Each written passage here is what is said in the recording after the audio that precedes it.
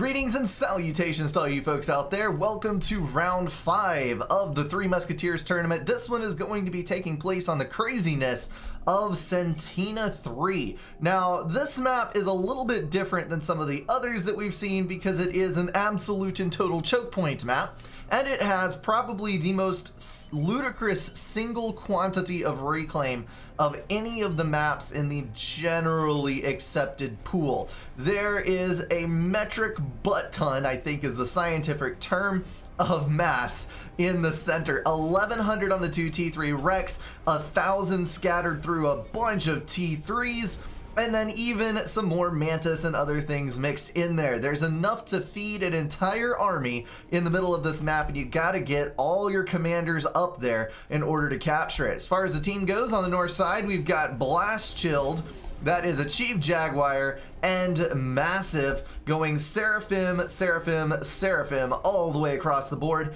On the south end of things, we've got Triple Seraphim as well. This is going to be a very alien matchup. That's going to be Mephi, Bully Dozer, and Zoc. Looks like all three ACUs are moving northward from the south team. Jaguar might be in for a bit of a painful experience, at least in the early portion of this game, if his teammates do not get up to the front and assist him.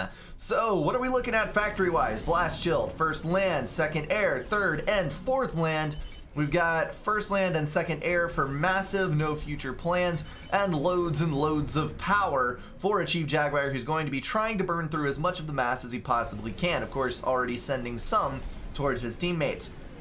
Got a single land factory for each of the south side players, and we do have some spam going down for Zoc. Of course, since this is a Seraphim matchup, there's going to be loads of hover artillery. Those land factories can be put to use, whether that is building engineers to make naval units or other interesting things, but you can always just spam the arty and get the job done that way. Jaguar chowing down on this T3 wreck right here. You can see the uh, mass value dropping a fair bit as he sucks away. He's already within reach of all three ACUs, so he needs to get to the water El Pronto. Otherwise, he is going to get knocked out of the game. As soon as all of the shots start connecting with him, you can see he leaves, routes a course, or plots a course, I suppose I should say, for the outside edge. Mephi trying to build wall sections to trip up the pathfinding, but is not going to be successful due to the reclaim that is in the way and Jaguar is going to make it to the water. So he got a fair bit of early reclaim, but that's going to end up putting a damper on the North team's plans because they will not have access to this resource. Jaguar coming up out of the water just a little bit to try to suck down some more as he's able, but he needs to be careful with the HP on his ACU, especially considering that there's now a couple of artillery moving up as well. These three ACUs have taken barely any damage at all. Massive and Blast Shield now moving towards the front. Blast Shield actually going for the gun upgrade ASAP. But since there's already a damage head start, there's less total HP in the north side pool on those ACUs. So I don't know that the north side is going to be able to retake the center in the earliest portion of the game. We got a Zthuee moving around the left, Blast Shield trying to get into the rear of that base and wreak some havoc. No air units as of yet for the south side. So there's already a T1 bomber down from Creature that is going to be working on the build power and P-Gens, I am sure, dropping away on those engineers. T1 mobile anti-air already out of the factory, so those are going to get knocked down pretty easily. Another T1 bomber coming in, and the artillery moving around the back end. Probably going to go after the hydro power plant on the south side. Looks like we've got plenty of land factories in place for Blast Shield going for that spam option, moving some tanks towards the center. If he can get some uh, some units around that commander with the gun upgrade, it might turn out okay for them. Mephi also starting the gun upgrade. Looks like there's going to be some really aggressive posturing from the ACUs in the center. Maybe we'll get to see them going after one of the bases, but on a map like this, where you're within easy reach of any of the three enemy players, you don't want to get your ACU too overextended, because you could find yourself sniped to death. The Northside team has claimed the right expansion for mass extractors over on the left as of yet unclaimed. Uh, not a whole lot of reclaim out on these islands. I'm not actually seeing any, but there are large boulders scattered through the trees back here that you do need to pay attention to when you are trying to get your early game head start. even if you don't get any mass from the center, if you decide to leave your ACU in the back, then you can take advantage of those rocks to do yourself some good. Chief Jaguar assisting Massive's upgrade, probably another gun. Yes, it is. Mephi, not Mephi, Blast Shield has just finished his upgrade. He will be moving towards the front line. Bully Dozer trying to get some reclaim, taking a little bit of artillery fire. Mephi not looking too terribly healthy, but he has started the gun upgrade as well. These guys are going to be a little hard pressed to hold the line. A Chief Jaguar reclaiming that T1 factory so he can get rid of the build power on the front line. As far as the total unit count goes, I think the combat advantage goes to the north side because even though the unit counts do look roughly the same, there's a lot of anti-air in the mix for the south, which is going to reduce the combat effectiveness. Mephi did finish the upgrade, but he's below 2,000 health thanks to all of that artillery that was coming in, and there goes the commander. He got the upgrade, but was too slow. Bully Dozer taking hits from the other gun commander. Blast Shield bearing down on that com, and Bully Dozer is probably going to go up in flames as well. There he goes, not able to take the hits from those gun comms. Zoc is getting an upgrade on the side, but he is going to be in a huge amount of trouble now since his teammates have disintegrated. Zoc feels bad, man. I'm sorry. He is going to stay in the fight, though. He's got plenty of factories online, pushing as many units as possible, and he will, I am sure, start getting even more online as he moves his engineers in to claim these other bases. Right now, the focus is on getting enough units online to not let the center fall. I find it very odd that none of these guys have gone for Navy because that seems to be the meta in most of the games that I have played on this map. But I guess if you put enough weight down on the center, then you can make do with the sheer force of your T1 units and prevent your opponents from venturing into the water. Zoc finishing off his upgrade will be done in just a tick, does not have the Notify mod enabled. That is the gun upgrade, so we do know what he's got after now.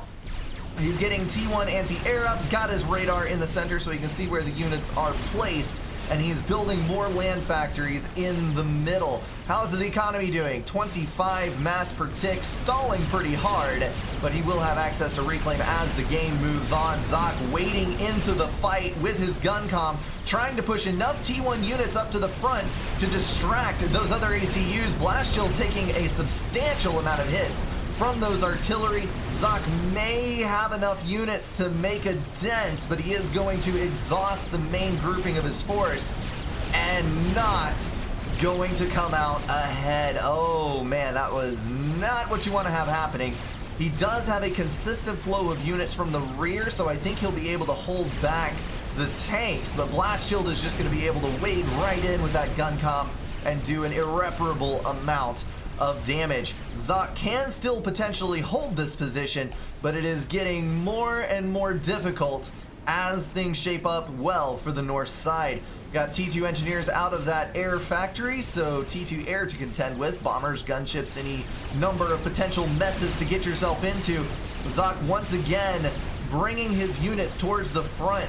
There are so many tanks being produced from those rear factories. It's kind of astounding the amount of production that he has brought to bear on the front problem. Blast Shield having to back up at sub 2500k health. Did he disconnect? Does he kill you with explosion? Uh, that's interesting. I wonder if Blast Shield had something else come up where he had to bail. Might have just been a straight disconnect. There was no desync, so something happened there, whether it was a rage quit or what, I do not know. But now there's a team player missing for the North. Zox's chances just got a whole lot better. Zoc moving to the rear with his damaged ACU, gonna hide in the water and rely on his units to hold the front now. I'm gonna have to get a statement from somebody about what exactly happened there. I will put some subtext on the screen, which you're probably seeing right now already, that explains what went on. Over on the left side, Zoc is going to be claiming these mass extractors once again, reclaiming all of the mass and getting even more land factories online through the center. He's already started his upgrades to T2 mass extractors, typical Zoc. He is putting off upgrading any of his mexes until the mid portion of the game, choosing instead to sink all of his economy into more and more units to ram up the front side of anybody who dares to stand in front of his base. Chief Jaguar got a fairly substantial amount of land factories online, is going for the mass extractors on Blast Shield's side. Looks like Massive is going to be kind of stuck for mass. He's going to get a little reclaim out of this, but Jaguar is going to take the bulk of the economy and then we'll see what he constructs. Jaguar has got the T2 upgrade. He's going to start putting in T2 point defenses. Of course, that is an excellent idea when you have a choke point as narrow as this. But then again, with everyone being Seraphim, artillery can still be a problem as it moves around to the rear. Looks like Jaguar is going to go for some naval forces finally. Frigates are your best friend when you're dealing with Zthuees. T2 gunship's going to clean up the mess for now and secure those waterways. Looks like Zoc does have some air online, but he is not devoting much to production because, of course, I am sure he is having some power issues. Only 780 power income. With all of these mass extractors, that definitely needs to be his highest priority is getting this other Hydro online and then expanding his T1 PGen build. Looks like there's a push in the center.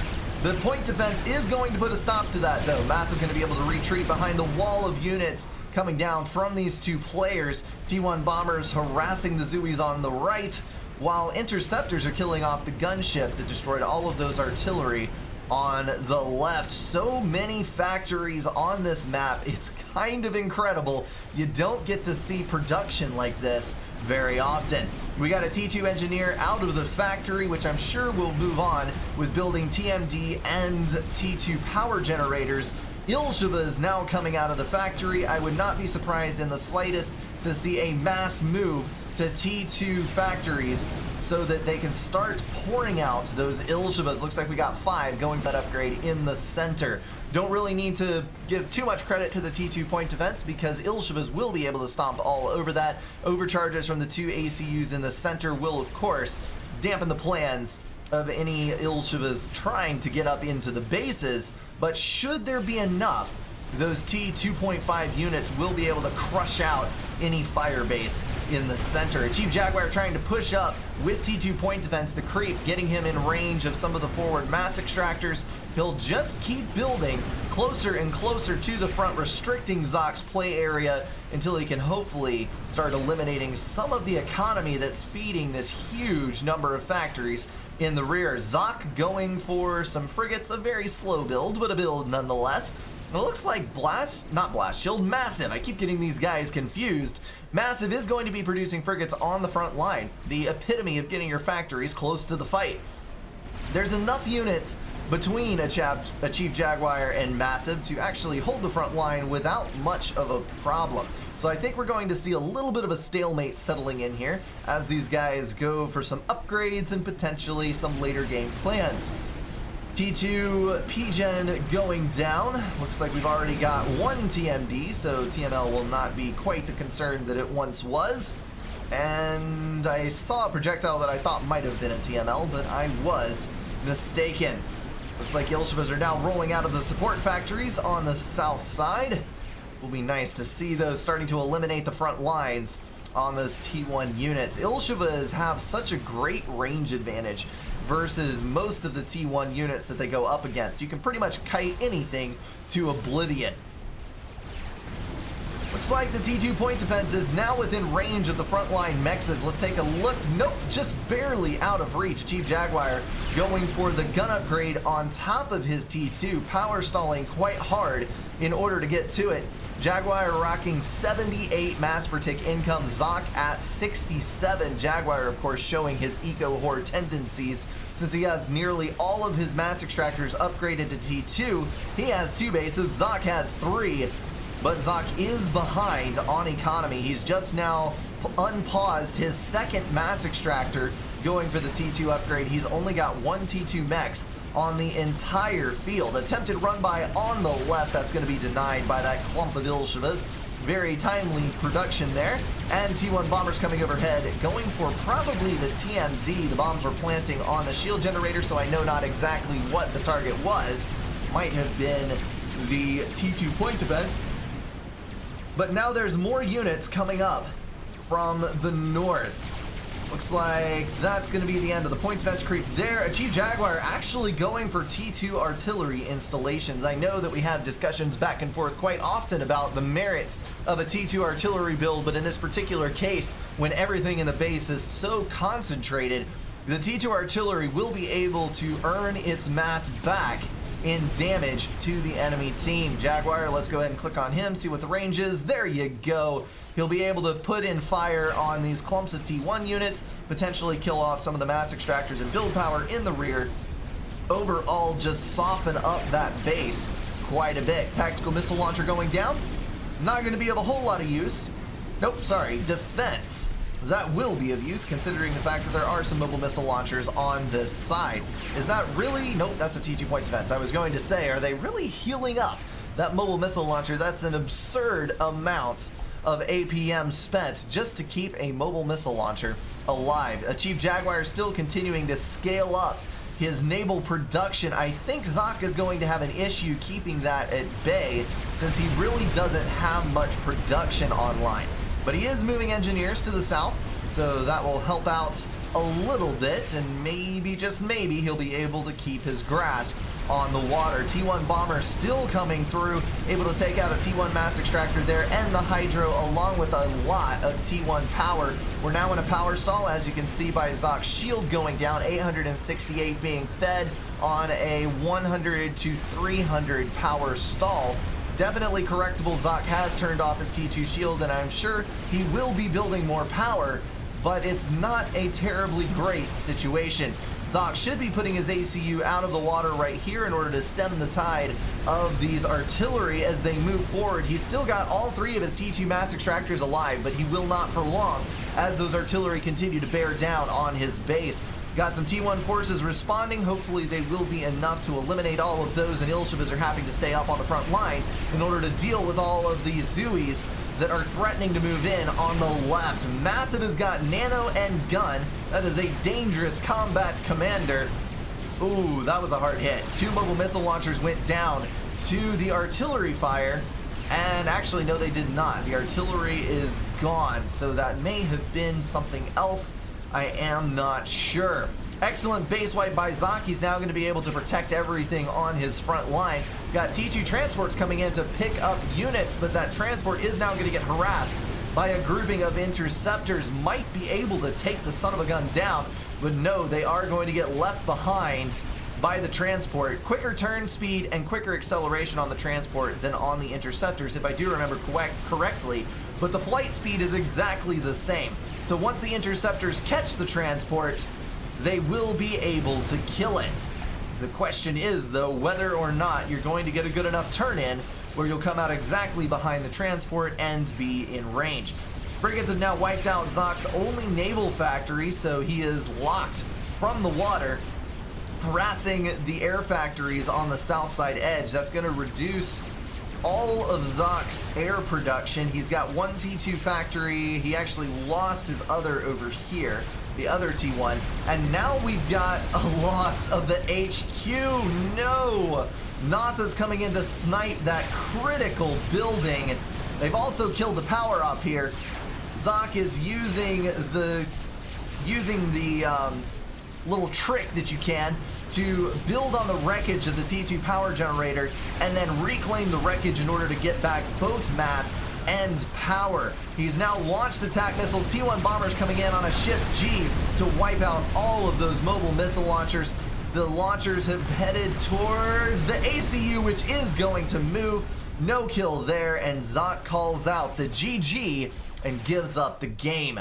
That was a very good fight. Most people would not try to stay in the game in a one versus three situation, but Zok very nearly did it. The only thing that crippled him was the fact that he did not go for early game eco. His play for more units was very useful once the front started collapsing because he had such a huge number of tanks. But then once that initial threat had passed, the eco that the north side had done, achieved Jaguar having mostly T2 mexes before Blast Shield died, and then Massive having a tremendous backbone in his economy as well, it just overwhelmed Zok towards the end. There's an advantage to both styles of play, but in this particular one, Zox was not sufficient. Alrighty guys, that is gonna wrap up this game. Of course, I will be continuing at the tournament in the next video. Hope to see you over there. That is gonna wrap everything up for this video, guys. If you enjoyed it, feel free to drop a like and share it with someone. If you want to support the channel, catch the streams, or join the Discord, check out the links in the description. Thank you all for being at least partially insane, and I will see you in the next one.